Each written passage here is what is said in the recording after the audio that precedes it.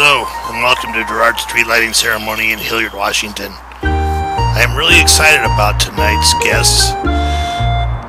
We will not be entertained by pre-tape performances of Neil Diamond, CeeLo Green, Justin Bieber, or Tony Bennett.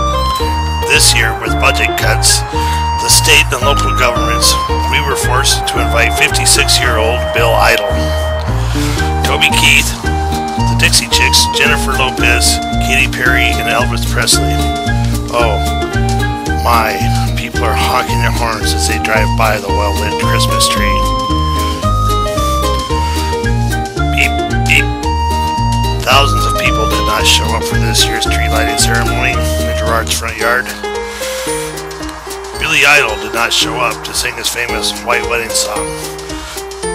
Toby Keith decided to go to Willie's tree lighting. The Dixie Chicks apparently did not like Toby Keith, so they did not show up.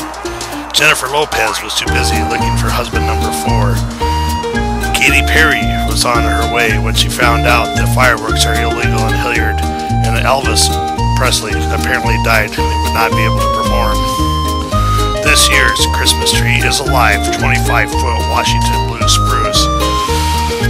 Tree is lit with 30,000 watts of incandescent lighting, 150 feet of high voltage cable, and powered by the Avista Corporation's dams on the Spokane River and coal fired power plants. Again, I would like to thank the squirrels for not running from the tree and staying for the complete ceremony.